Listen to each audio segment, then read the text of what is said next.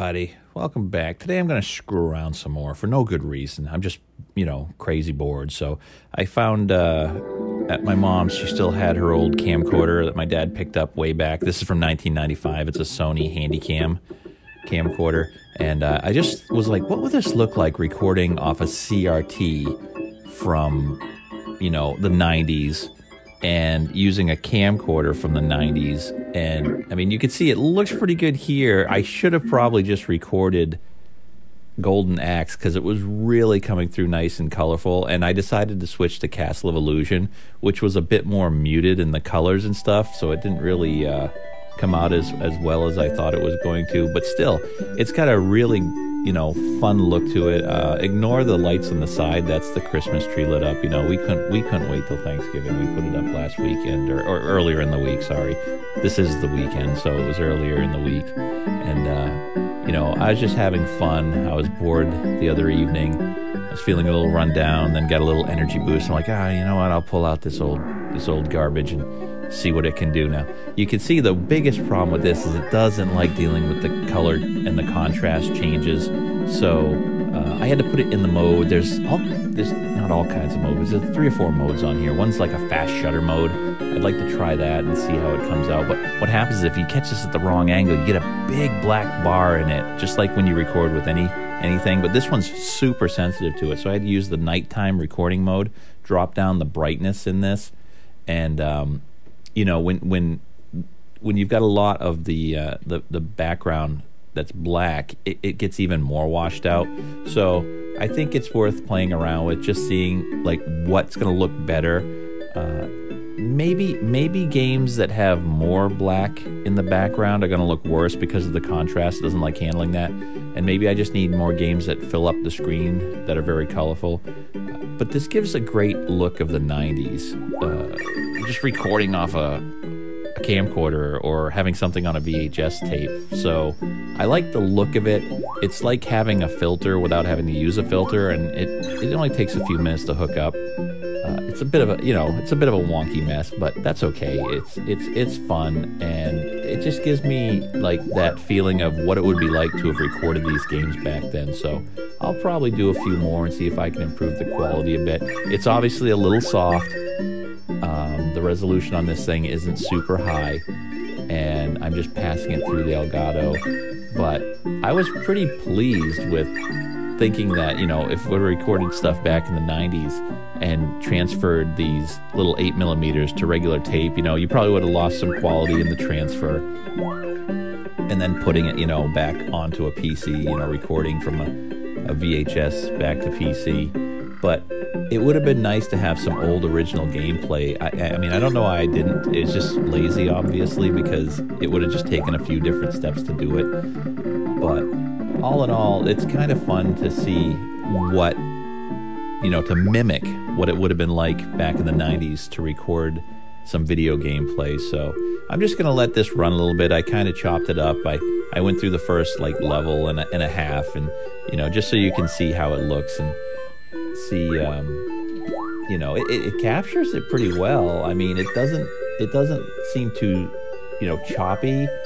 Um, considering it's 30 frames and the you know the game's 30 frames, you get a lot of stuff that can blink out, like when you get hit, you know, the flashing and stuff.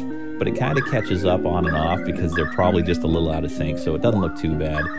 And um, you know, the one thing I think was, you know, maybe something that was a lot more colorful and bright would would just pop a little bit more but you know you could see it pretty well. It came out okay and I, I, was just having fun and I'll probably continue to do a handful more of these which you know may interest 20 people in the world but know, it was interesting to me so I just wanted to give it a go. So well there you are. You know there's a few minutes left. Watch it if you like. Nothing exciting is going to happen. It's just gameplay of a, a fantastic game of that era. I mean anyone that that had got this way back it was like you were really playing a cartoon back then. It really felt good. I mean, NES could do a good job with, you know, having kind of cartoony graphics, but once you got the Genesis coming out, you know, things really stepped up. And of course, then you have the Super Nintendo and beyond that. But this was really one of those times where you felt like you were playing a cartoon. So I figured I'd just showcase this because I have a, a lot of good memories of, of uh, the early